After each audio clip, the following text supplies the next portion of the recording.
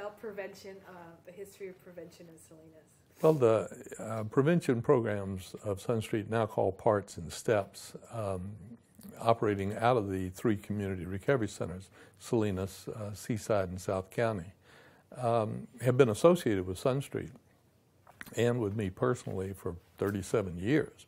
Uh, the, the most immediate part of that is that Parts uh, was a separate uh, organization that we founded in the early 1990s uh, based on um, a grant from that was administered by the Pacific Institute of Research and Evaluation in Berkeley.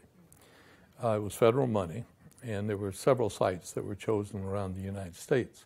The reason that Salinas was chosen, as told to me by Elizabeth Stanley, who was the alcohol program administrator for Monterey County, was because of the public policy work that SunStreet had done in the early, I mean, the late 1980s. Um, there was a researcher named Freed Wittman who worked with SunStreet also on the um, remodeling of SunStreet. He was an architect and had worked with community uh, mental health centers. Freed was focused on public policy and worked with the city of Salinas and with me uh, principally at first to stop the concurrent sales of alcohol and gasoline. There was a 7 Eleven that had um, uh, asked for a conditional use permit out on Sanborn Road near Highway 101. And we, that was the point of entry uh, for us to start dealing with public policy. There was some work done, and I believe adopted uh, by the um, planning commission or city council is kind of fuzzy now about concurrent sales where on conditional use permits they would have to go through certain hoops in order to do that. Um, in addition to that, I mean, in the parts, we started as a separate organization uh, so that it would not be uh, confused in any way with the, uh, or, or, contaminated, if you will, by other operations. Um, after several years, the grant ran out, Sun Street already had all the prevention monies from the county uh, to operate the community recovery centers. And so Bob Agnew, who was the um, chief of the uh, mental health unit at the county, asked that uh, Sun Street work it out with parts uh, to so that there would be continued funding for the public policy approach based in the community recovery centers. Uh, we did that uh, Linda Sanchez, who had been the the director of parts, the, um, had been on the Sun Street board for 15 years before that, and was, I believe, president or vice president at the time that parts started, and was my choice and and others uh, to head it up uh, because of her interest, you know, in the in the um, problem of alcoholism generally. So. Um, the community recovery centers had the um, money, prevention monies to operate them because Elizabeth Stanley also had uh, put out bids for community recovery centers in three areas of the county. And these were based on neighborhood recovery centers, which were prevention projects that had been done in San Diego. I mentioned this goes back 37 years. Some of the people that are, I mean, Bob Reynolds, who later was a consultant to Parts, was the alcohol program administrator in uh, San Diego County, and actually modeled his neighborhood recovery centers after Sun Street centers, which had done quite a bit of community work, um, kind of at a, uh, a, a, level of involving community agencies uh, in dealing with certain aspects as it affected their agency. So it's always been an environmental uh, um, approach. That was based on work that, I mean, on papers that I wrote in 1973 and 1974. The first one was the social model recovery. The other was, um, no, it was, it was based on um, halfway, I mean, on uh, recovery program, I mean, on recovery uh, houses, but it incorporated the social model approach.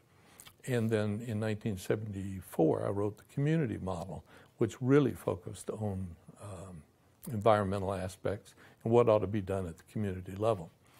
Bob Reynolds, as I mentioned, was part of that. Um, Sun Street in the early 1980s, uh, had, had instituted the in prevention the alcohol awareness program, which was tied in with Hartnell College and with Salinas Valley Memorial Hospital. We had visiting speakers come in, and we targeted various groups. In other words, how alcohol affected the family, how alcohol affected women, how alcohol affected teenagers, how alcohol affected uh, a variety of different uh, subjects, and we got uh, people to, or groups, like the uh, University Women, the um, Rotary clubs, and, and, groups like that to sponsor a speaker that actually uh, addressed their particular concerns. Uh, the alcohol awareness, uh, kind of ironic that the uh, there was a shift in funding uh, for counseling uh, of teenagers that was happened in the schools, and, and so the monies were taken away from prevention at that time uh, to fund um, youth counseling in the schools. Um, we had patterned um, the alcohol awareness program after the one that was done at Eisenhower Medical Center, which was started by Dr. Joe Cruse, who started the Betty Ford Center. He and I were on the State Alcoholism Advisory Board together, and I was chairman in 1978. And based on the social model approach, with the um, uh, support of Dr. Cruse and, and several other people, we started trying to affect public policy and working with alcohol beverage control at that time. Um, it was quite an active um, process. What makes that significant is up until um, the mid 70s and then later in 78 when I was chair of the state board and everything, the dominant model had been the disease model of the treatment of individuals for disease. And there was the notion that somehow uh, alcoholism existed in the individual, unique individuals, that because of biology and psychology, they were uniquely um, prone uh, to the development of problems. So the prevention, what there was of it, was aimed at youth, uh, which uh, was done here in Salinas by uh, Sunrise House. It was somehow or another, if we could teach the problems in grades K through 12, we would prevent alcoholism in later life.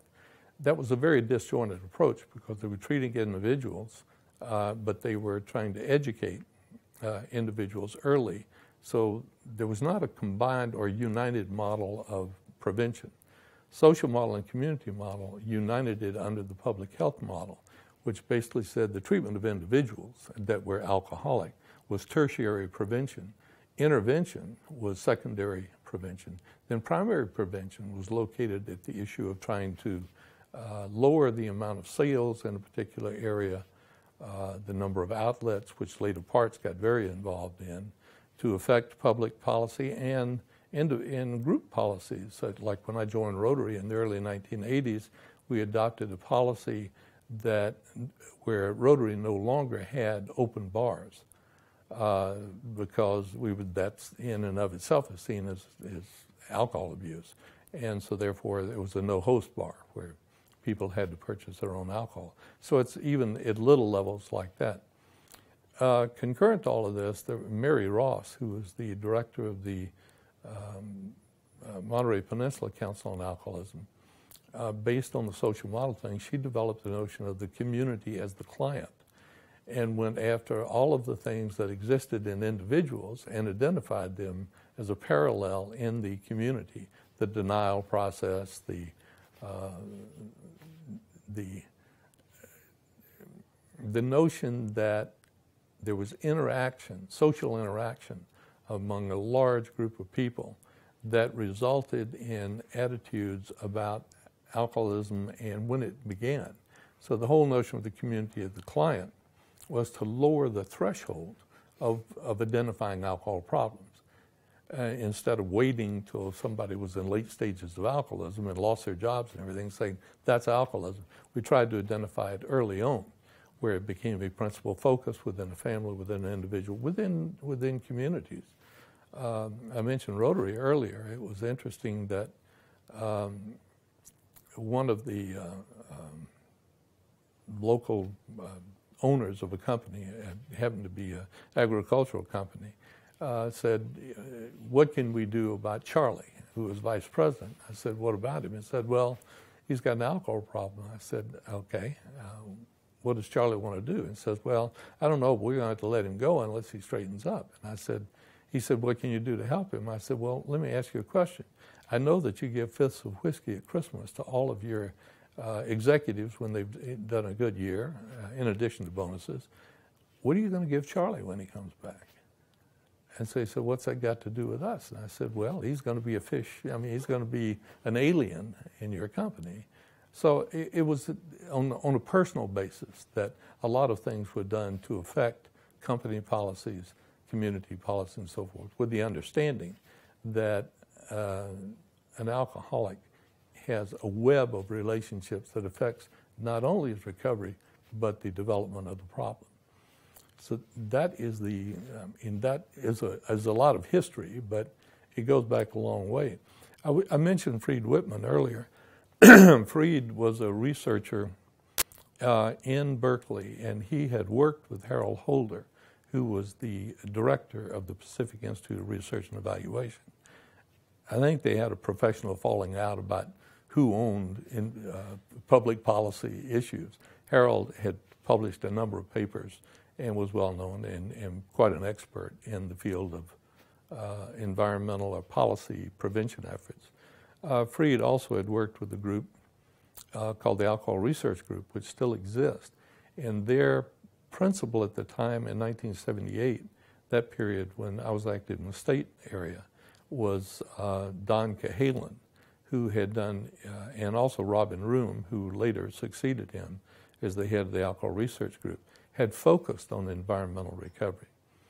Probably the, large, the biggest uh, shift, the tipping point in the state uh, was that a, uh, in 1978 there was a group called um, California Conference on Alcohol Problems, which Elizabeth Stanley and I were kind of the uh, on the founding board of that.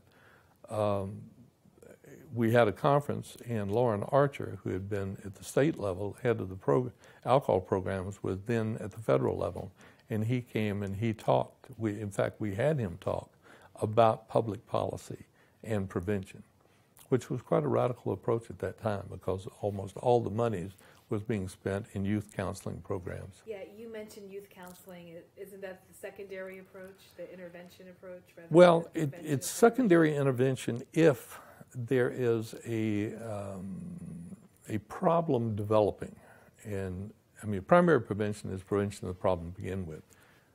Secondary prevention is to intervene in the early stages of the development of the problem. Tertiary prevention is basically to prevent death, and it's after the problem is already present. Sunrise House was not limited to just uh, alcohol problems and drug, well, actually, mostly drug problems. They were talking about all sorts of youth problems and inter-family interventions. And uh, they followed the family systems model, which uh, rec- I mean, the director of that, Elsie Belizio, recognized that there was a system of developing the problems. But much of their effort was directed at finding kids in trouble in school, uh, trying to fix some policies that directly affected kids, um, such as getting uh, the kids that were involved in sports for their parents and the child to sign a non-use policy. Uh, I, I, tried to encourage them to go beyond that and have the board, the school boards, also have a non-use policy, but uh, we weren't able to affect that. What about um, the name of parts? How did that come to be? Well, when we when we started it, I was on the one of the founding members of the coalition, we were searching for a name, and I came up with the name of prevention alcohol, preventing alcohol-related trauma, which I wanted to call it part for do your part, uh, because it was in Salinas, the first one. It was they added uh, prevention of alcohol-related trauma in Salinas and named it parts. So it, it was my name. Steps came later, uh, and that was Steps uh, was developed after part I'm not sure of this. Uh, I don't know if Steps developed under parts when it was separate from Sun Street or afterwards. but that's where the um, uh, was more of the school focus of trying to impact the school things. I think I don't know to what degree. I mean, I lost some touch with that because when we merged with Parts, um, uh, Linda ceased being on the board of directors and became an employee of Sun Street and was uh, to direct the Parts program. And as I said, the county shifted its prevention. I mean, told us to shift what prevention money we had uh, to the Parts program, and we co-located it in the community recovery centers. Um, also, there were many grants that were pursued for the, I mean, a number of years uh, to augment uh, county. Uh, the funding, the county funding came from the federal government through the state to the county for prevention efforts. It's always been a, or at least as long as I was around, which was up till 10 years ago, it was a relatively small amount of money. I mean, prevention is always um, kind of an afterthought with people is, gee, it's something we ought to do. Unfortunately, there, there continues to be the mindset, uh, which in the social model papers and the training I did throughout the state was trying to overcome the, um, if you will, the industrial model that has inputs and outputs. In other words, if we tell you something, you will change your attitude about it. And if you change your attitude, you'll change your behavior. That was the dominant model. And that was, believe me, it's the basis of all K through 12 education. We found that quite the opposite, actually coming out of recovery, that if people change their behavior for a wide variety of reasons, very unique to individuals, why people change behavior. But if they change their behavior, they will change their attitude. And once they change their attitude, they will try to find out everything they can about what was the problem to begin with. Now, it's, it's obviously it is uh, reinforcing. I mean, it's not a straight line, but we did follow the. We want to change behaviors instead of we want to change information. We want to change behaviors. That was uniquely in, in in many ways was associated with me personally and with Sun Street generally. And uh, we had a variety of retail programs, if you will, uh, that had been at Sun Street a long time of, of the men that were in recovery going out and helping in the community. That was to break down the notion that these somehow were strange individuals, and to start to show they were very, very active members of the community. So they're. Um, I need, if you could talk a little bit more about parts before, I'm not understanding when you say when parts merged with Sun Street, um, and then when parts lost its funding, and then it, you wanted it to be based out of recovery centers. I'm not understanding the sequence of events there, and Okay, Sun Street's um, involvement with each. right. Uh, You two know a lot of this history, Okay. but I don't, so I- I'm not, I'm not. Well, uh, covered again that um, we started uh, parts uh, as a separate organization, separate from Sun Street. Um, Elizabeth Stanley, who was the alcohol program administrator, uh, myself, people that were going to get involved with parts, Linda Sanchez, the probably a, a major uh, push for that came from the Pacific Institute of Research and Evaluation, which, for research purposes, wanted to make sure that it was kind of a freestanding uh, effort that would not, if, if you form the coalition uh, that was over parts, eh, which are big community coalitions made up of people from all different types of agencies and everything, that if it was directly connected with Sun Street, it would necessarily get involved with other Sun Street issues, uh, lobbying, if you will, the Board of Supervisors for money for recovery homes. We did not want to con- contaminate it with extra issues, so we formed a 501c3 with the name of parts to uh, effect the environmental prevention program for research. They had funds for at least three years. It may have run longer, I'm not sure. But the funds from the federal government for that research project stopped. Sun Street already had all of the prevention money to operate the community recovery centers. That was started by Liz Stanley also. Bob Agnew, who was the mental health director and was in charge of alcohol and drug programs at that time, liked parts. I mean, of course, he did not want to see parts uh, with Linda being chair of our board of directors and director of that, coming to him with two hats on, saying, "Take the money from this, give it to that." So we just merged, and parts became uh, was absorbed into Sun Street Centers, Um and then we used the prevention monies we had to continue that funding through from eh, based in the community recovery centers, but also it was augmented by many many different grants from many different sources. Uh, Linda and others um, were very busy writing grants. It always concerned me uh, because grants run out, and Yeah. there was not the basis of ongoing funding uh, for the prevention at the level we were doing it. Also, the problem that my board of, I mean, my Sun Street's board of directors had to wrestle with at first was that when you get into public policy and really challenging um, um, cities and agencies and others about um, the sale of alcohol, in other words, restricting the sale of alcohol by closing or not re-upping certain uh, outlets. That is a politically charged um, action, which the board was worried could affect um, Sun Street's getting money for its recovery, for its individual recovery programs. So there was a quite a bit of discussion about are we going to endanger uh, the recovery home and all of the other direct services that we gave by picking up this political action because anytime you deal with public policy, it's politics. I mean, there's no two ways about it. The board took the risk uh, to do it, primarily because we had been involved in it so long.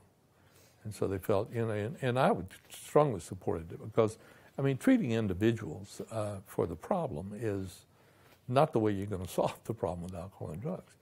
There were a lot of changes in public policies, uh, state level and, and elsewhere during this period. And this merger with Sun Street was in the late eighties, early eighties? No, uh, parts started in the early 90s, so the merger would have been probably in the late 90s, 96, 96 or 97, maybe as late as 98. It was no earlier than 98, I mean, no later than 98, and probably no earlier than 95. So I would say it was between 95 and 98 we merged. I would guess 1996 or 7. Okay, any other questions? And then in terms of steps, I didn't, I didn't get, Steps came after. Steps, I'm not sure when Steps was started. Uh, I d- I, d- I can't answer that. I, I, I tend to think that Steps started after the merger, but I'm not certain of that. did it exist outside of Sun Street? Or No, it- It's a no. creation. It, it was it was a creation, and um, uh, Linda did create that while I mean under Sun Street While she was uh, while she was an employee of Sun Street. Yes, that that's my guess. I do not think it started under parts. If it did, it was part of the merger thing and came in with the other parts coalition program. We continued the coalition uh, as a separate body because it was focused you know, on environmental prevention and on public policy. So it um, it ran along with. I mean, there was the Sun Street Board of Directors, and then the coalition continued uh, as an advisory group. Um, uh, it had no direct administrative uh, control over parts. That was under Sun Street through me, but we gave a lot of deference to the parts coalition as far as directing which where we would go next.